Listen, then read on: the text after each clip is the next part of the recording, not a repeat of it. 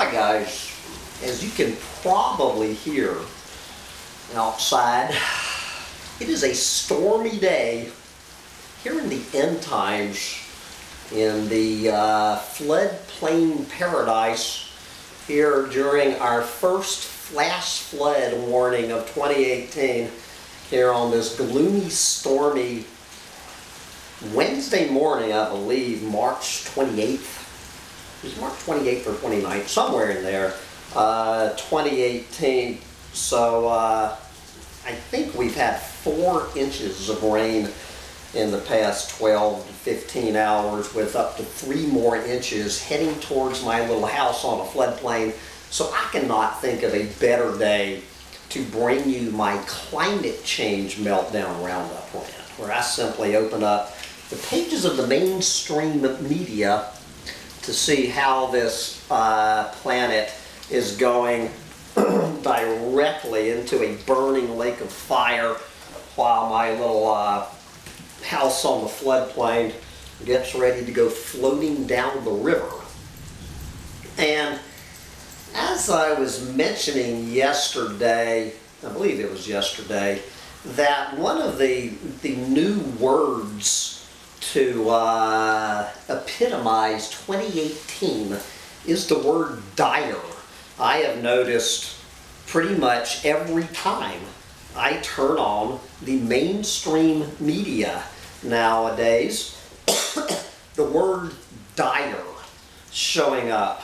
So right after I finished that rant yesterday talking about the dire situation, probably an hour after that, I opened up the mainstream media to this headline.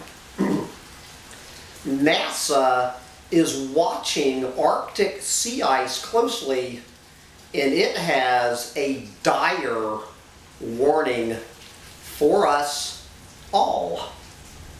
Oops, I need to go get my buttons. I will be right back.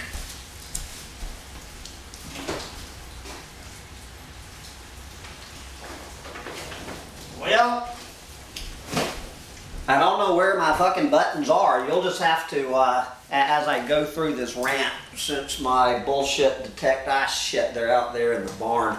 Since my bullshit detector button and my no shit Sherlock button are stuck out in the barn, uh, you'll need to decide as we go through it. Anyway, which button?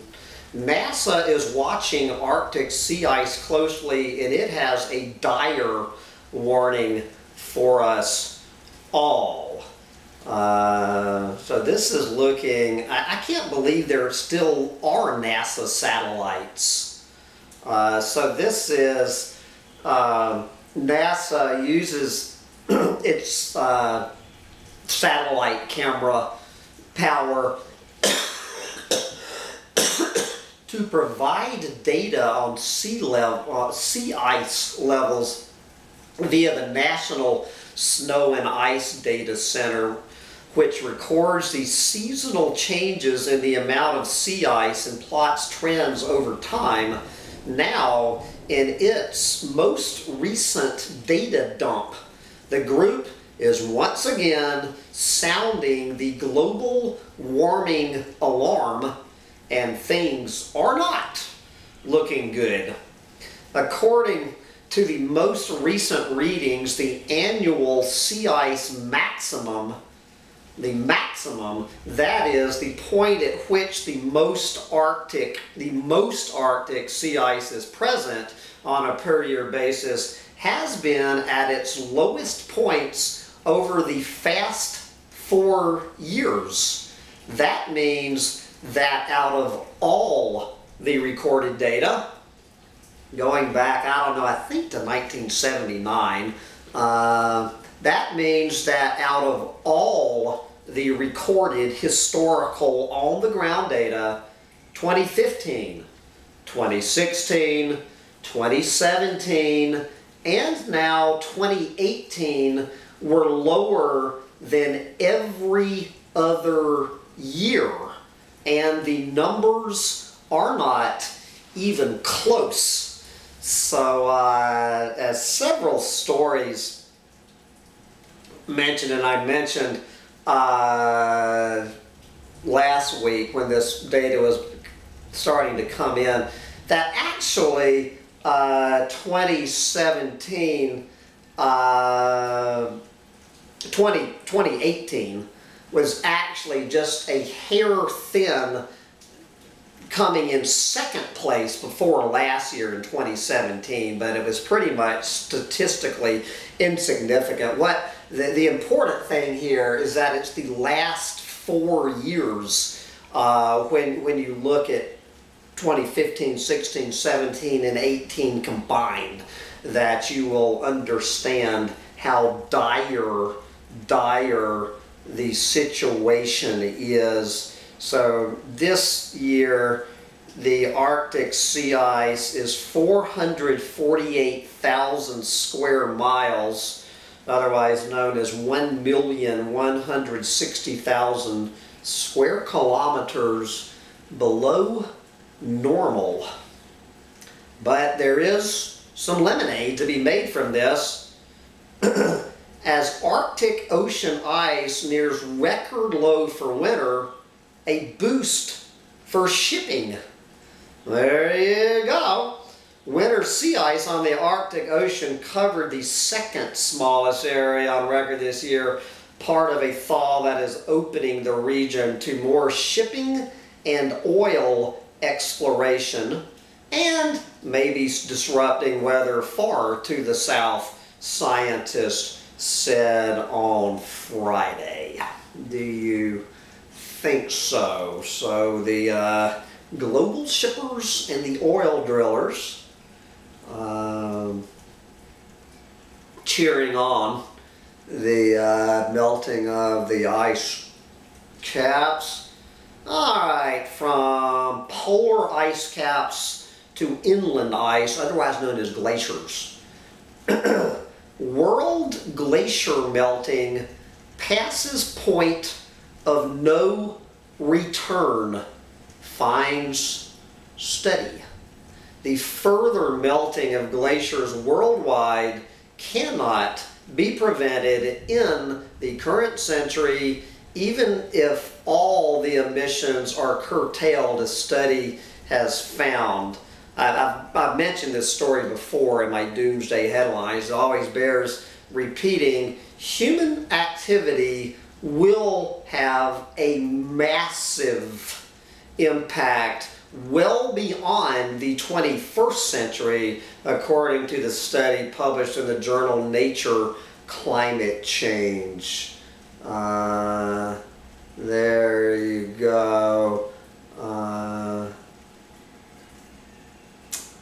so talking about how the Paris climate change, the Paris Climate Accord being an absolute joke about stopping uh, sea level rise, which leads me into this article from New York Magazine. the Paris Climate Accords, I don't know, they make this plural, the Paris Climate Accords are looking more and more like fantasy.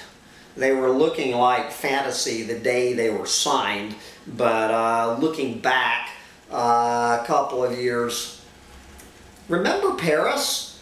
It was not even two years ago that the celebrated climate accords were, were signed defining two degrees of global warming as a must-meet target and rallying all the world's nations to meet it.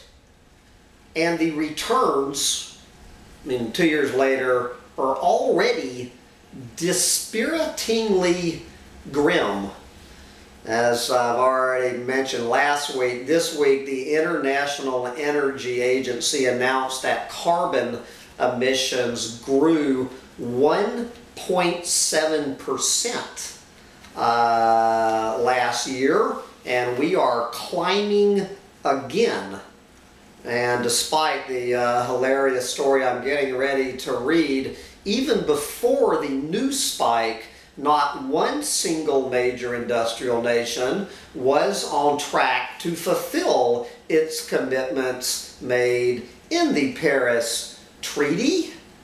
Yep. Uh, let's see. Uh, we're gonna we're gonna get back to China in a minute, but this winter has brought even worse news. Brought even worse news than the abject failure of Paris compliance in the form of a raft of distressing papers about what beyond compliance is required to stay below this unadulterated horseshit two degrees. Once again, even if each of those 195 countries were to suddenly shape up dramatically cutting back on fossil fuels to bring emissions in line with their targets, that would still be not nearly enough to hit even Paris's quite scary target. Yep, yep, yep. Uh, I think we've heard this before. Uh, according to these recent papers, uh, any chance of this happening are something close to fantasy. At best, uneconomical and entirely untested at scale, and at worst, wholly inadequate to the job being asked of them. Talking about this unadulterated horseshit, uh, geoengineering, carbon capture, and storage, all of this shit. Um, anyway, uh, you know, guys, uh, we're we're we're fucked. Uh, I'm gonna put the uh, link onto this story. I could have just made this story my entire rant. Uh, just New York Magazine. Uh, one more uh, paragraph. How not good. Another new paper sketches in horrifying detail what this would mean though its findings are smuggled under cover of rhetorical optimism. Yes, rhetorical optimism. Okay, now we're going to go visit two countries. This pretend like Hambone Littletail is holding his no shit Sherlock button in one hand and his bullshit detected button in the other. Which button would you be pushing? First, let's go up there to Canada. Canada to miss its 2020 climate target. Canada will likely miss its 2020 interim carbon emissions reduction target and will need to take strong measures if it further hopes to meet its Paris Agreement commitment. But now we're going to go over to China. China. take, take a wild guess uh, what, uh, what button to push on this one from Reuters News. Apparently, just reporting this as straight news with uh, no hint of irony. China meets its 2020 carbon target ahead of schedule, according to the Chinese government. China met its 2020 carbon intensity target three years ahead of schedule last year. The official Chinese Xinhua news agency reported yesterday, citing the country's top climate official. Hmm. China, the world's biggest energy consumer, cut its 2005 carbon intensity level or the amount of climate warming carbon dioxide it produces per unit of economic growth. Carbon intensity fell over 5% in 2017 compared to the previous year, the environment minister said, suggesting that China's war on pollution also helped reduce greenhouse gas emissions.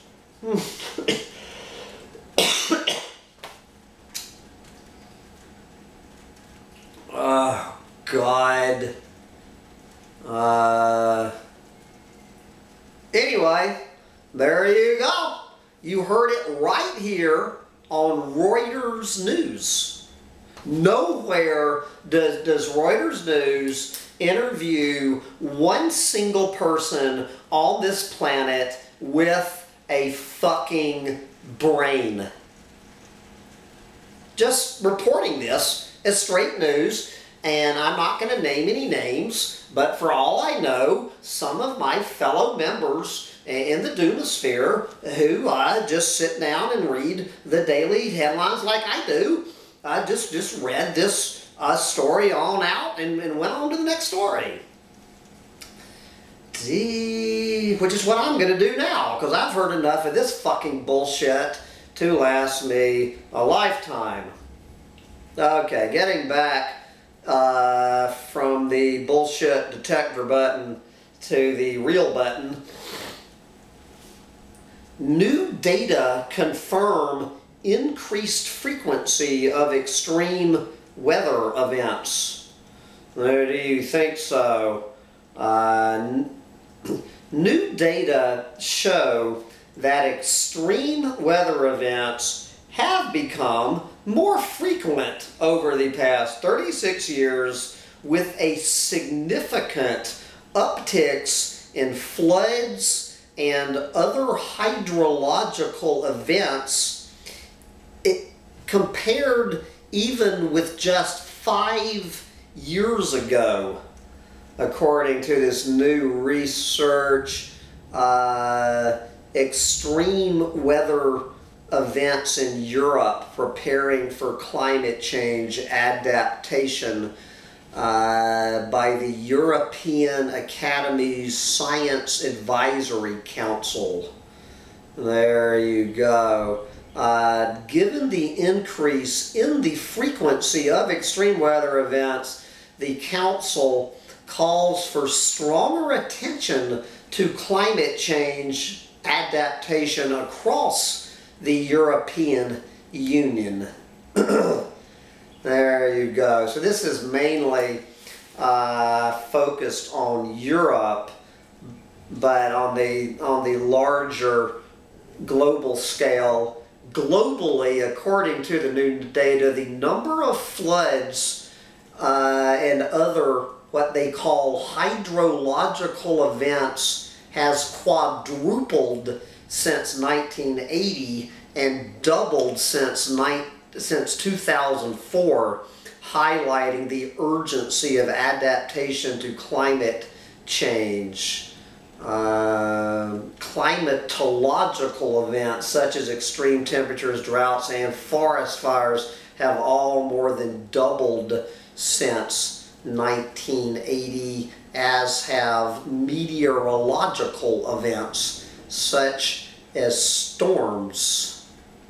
There you go, such as the one that just passed over Garfield, Texas. Let's go back up to the permafrost. Uh,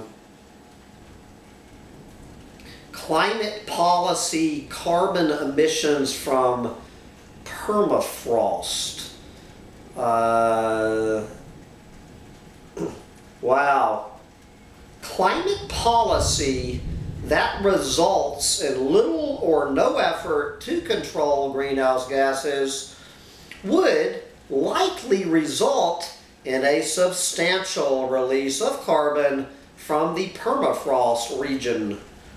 I've already, I've already gone over, uh, I've already gone over this no shit Sherlock story about the methane bomb being much worse than we thought. Uh, many versions of this story all over uh, the, the mainstream media this week. This one from Mashable.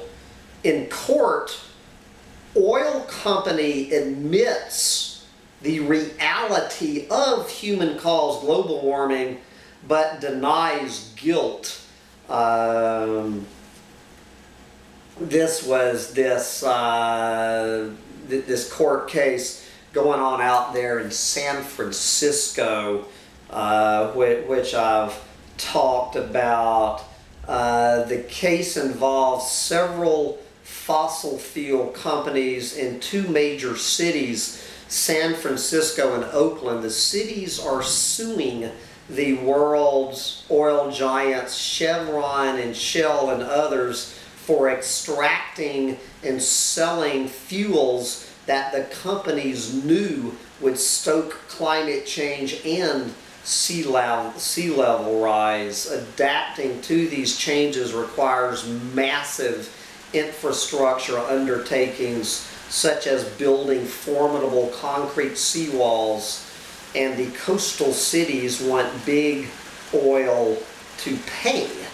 And uh, so anyway, what we have is now so big oil admitting that uh, that climate change is by it, it is no one is denying well I won't say no one at least people in big oil can no longer deny this uh, but of course it's not the fault of the oil companies. Uh, it is the people who buy the products from the oil companies. It's their fault, meaning it's our fault. And, and guys, uh, you, you know, all kidding aside, how long have I had this rant? Uh, this goes back to 1957 in Atlas Shrugged when Ayn Rand points, that was pointing out there is one way to put these planet-eating motherfuckers out of business. It is to stop buying their products. If we had refused in 1957 to buy the oil company's products, we would not be in this fix we're in today. Uh, any oil company executive claiming uh, blame your look in the fucking mirror mirror and blame yourself for uh, taking down this planet you clueless fucking moron hypocrite I agree with him. Anyway, moving on, uh, let's see, what do we got next? Let's go over to India. Several stories coming out of India. Unfortunately, my computer does not want to hand over the story, story Brace Yourself India. Summer 2018 is going to be too hot to handle already the, uh, the heat waves slamming into uh, to India. So here's another one. Low on water already, India unprepared for summer heat. Uh, while weather forecasts predict a scorching summer this year, water levels in major Indian reservoirs are already at an alarming low. India is staring at a water crisis this summer with the heat settling in earlier than usual in many parts of the country, water storage at major reservoirs have plummeted to critical lows at a time when the Weather Bureau has predicted higher than usual temperatures across India from March to June uh, before the monsoon rains offer any relief. Uh, water storage in 91 major reservoirs across the country averaged a mere 32% uh, over their total storage capacity. This is 12% lower than the storage in the same period last year.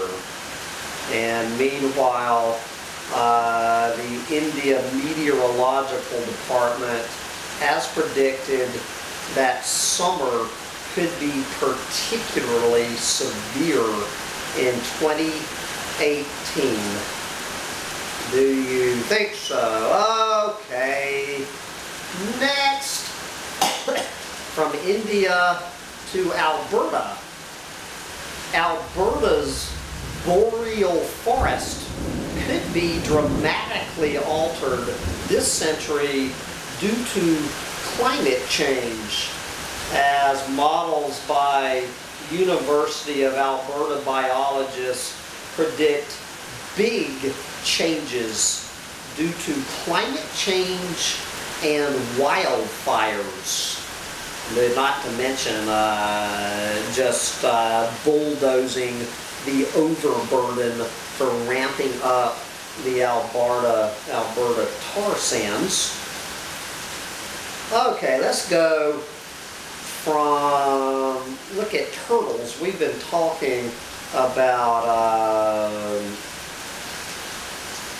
this, what, three feet of seawater could mean for the world's turtles. And they're not even talking about sea turtles in, in this look, uh, which are completely fucked.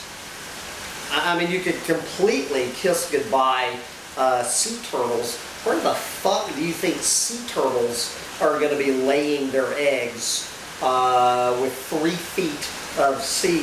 So we're not even talking about the fucked sea turtles. We're looking at freshwater turtles uh, sea level rise set to impact about 90% of coastal freshwater turtles. Uh, but I expect the freshwater turtles in Garfield, Texas are having a blast today. Let's see, what is going on at the New York Auto Show today, SUVs to steal the New York International Auto Show. Hmm. Yes, there will be a few cars, but SUVs will capture most of the headlines at this year's New York International Auto Show automakers will be shoring up gaps in their SUV lineups and revamping models that already are popular in the hottest selling part of the U.S. market. Uh, SUVs, which hit a record 43%, 43% of U.S. auto sales last year at just over 7.3 million will steal the show in 2018. But uh, don't worry, you can just go out and buy all the SUVs you want because we have a new plan. We have a new plan to quote, stop global warming by sprinkling table salt into the sky. It sounds like a wacky idea out of science fiction, but a climate scientist has suggested that planes could sprinkle salt into the sky to slow down global warming. This uh, idea was being batted, batted about at a conference this week by a clueless fucking moron, mad scientist Robert Nelson. You know, based on the old idea that salt, plain old table salt, would reflect more of the sun's rays back into space. Yes, some scientists have suggested that such technology could be used as a stopgap to reduce temperatures while measures to limit CO2, CO2 emissions are put in place. But others have suggested that when solar radiation management is withdrawn, it could lead to rapid global warming in a phenomenon known as termination shock. Not to be deterred, Nelson says that sodium chloride or table salt is safe, readily available, and would not have negative effects on the weather. But he does admit, quote, even if successful, this would be a palliative, not a final solution.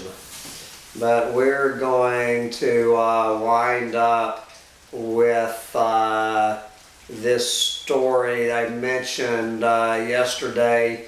The from the apocalyptimist, if sprinkling table salt isn't going to save us from clim climate change, there's nothing to worry about because uh, because anyway, I guess the my computer has eaten the story because as this story says, it's easy to prove that uh, humans have have already adapted to abrupt climate change 11,000 years ago and we went right on going about being humans. It didn't make a fucking bit of difference. So if we did it before, we're going to find out ways to do it again.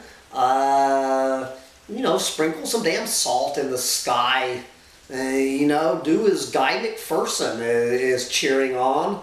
Uh, you know, building sea walls around the polar ice caps to prevent uh, warm ocean water from undermining glaciers and just put tens of thousands of blimps out there uh, hanging uh, six mile by six mile sheets of mylar to reflect uh, to, to reflect sunlight uh, and we can uh, and, and, there's no reason uh, why we, we can't do this guys uh, Guy McPherson's all over it.